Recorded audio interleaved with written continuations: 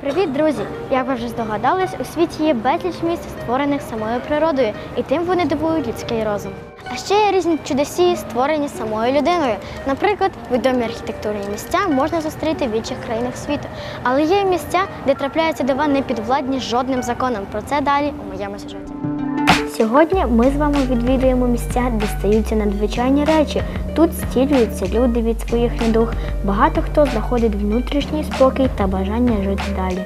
Саме сюди сходяться віруючі з цілого світу, щоб віддати шану Богородиці чи Ісусу. І це все про місця паломництва християн.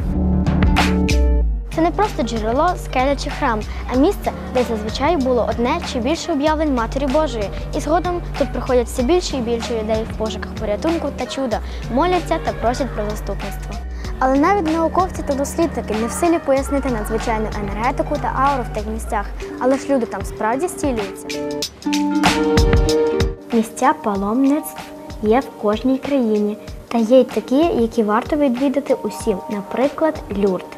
Це містечко у Франції, де у 1858 році дівчинці Бернадетті, яка збирала хмиз у лісі, з'явилась Марія і вказала місце, де буде джерело. І справді там почала текти вода, цілюща.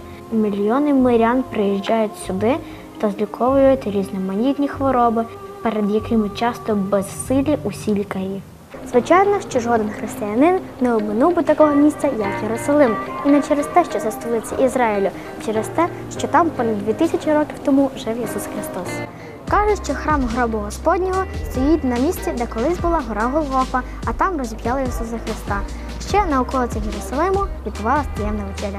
Ще є одне місце, куди варто поїхати. Тут ніхто нікому не являвся, але це одне з найбільш бажаних місць куди мріють поїхати усі християни.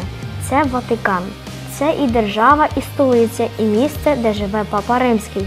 Саме тут, на площі в соборі Святого Петра, щороку відбуваються святкові мес за участю самого папи. Хоча за переказами саме у Ватикані загинув один із апостолів Христа, і це святий Петро. В Україні теж є місця, в яких варто побувати. Якщо вже ви в Києві, обов'язково загляньте до Києво-Печерської лаври.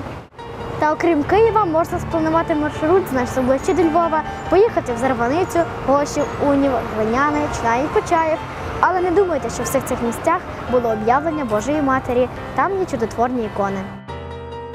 Поїздки по паломницьких місцях віднедавна стали називатись релігійним туризмом. Для того, щоб потрапити до святині, часто віруючі мандрують пішки. Це називається прощею. Це корисно не тільки тому, що ви побачите святе місце, очиститесь духовно та почерпнете для себе сили, а й тому, що там ви зустрінете багато однодумців та цікавих людей.